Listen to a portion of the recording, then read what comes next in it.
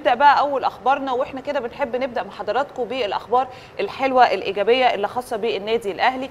آه، وبنتكلم عن مدى هنا بقى في الخبر ده الفخر والاعتزاز بالدور الريادي تحديدا للنادي الأهلي اللي هو بيسعدنا جميعا وبيشرفنا جميعا. وده مش كلام ومش طالعين نقول شعارات. ليه؟ لأن الواقع هو اللي بيثبت ده. في واقع إحنا بنعيشه. ريادة النادي الأهلي حقيقة هنا بشهادة مين بقى؟ بشهادة الأيزو.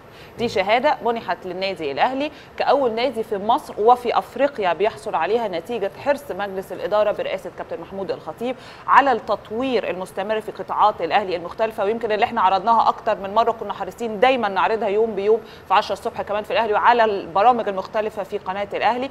نتيجة طبعا الجهد ده إنها حصلت بقى إدارة النادي على شهاده المطابقة مع المواصفات الدولية اللي كلنا عارفينها طبعا ايسو 9001 عشان يصبح النادي الأهلي هنا أول نادي رياضي في الوطن العربي وقارة إفريقيا بيحصل على هذه الشهادة. اللي بتعكس رغبة هنا القائمين على النادي في وضع الأهلي في المكانة اللي بيستحقها في كل العصور.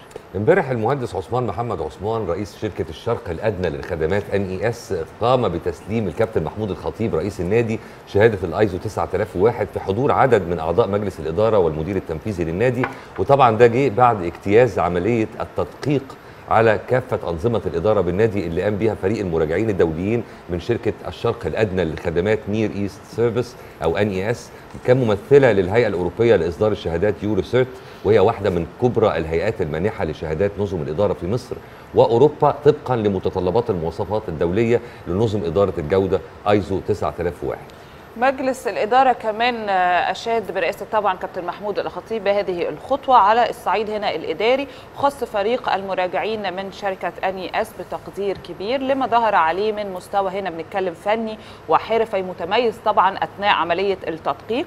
وهنأ كمان المهندس عثمان محمد عثمان رئيس مجلس الإدارة للنادي على هذا الإنجاز مشيرا طبعا أن حصول النادي الأهلي على هذه الشهادة كأول ناد رياضي مصري وأفريقي بيحصل عليها بيمثل اعتراف دولي بتبنيه أحدث نظم الإدارة العالمية وكمان تطبيقها بنجاح.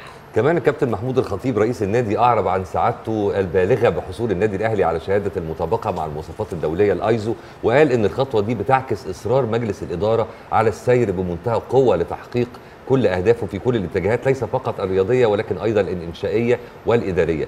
كل ده بيحصل في ظل البحث الدائم عن وضع النادي في المكانة اللي يستحقها على كافة الأصعدة وكمان بالشكل اللي يلبي طموحات كل أعضائه وكافة جماهيره.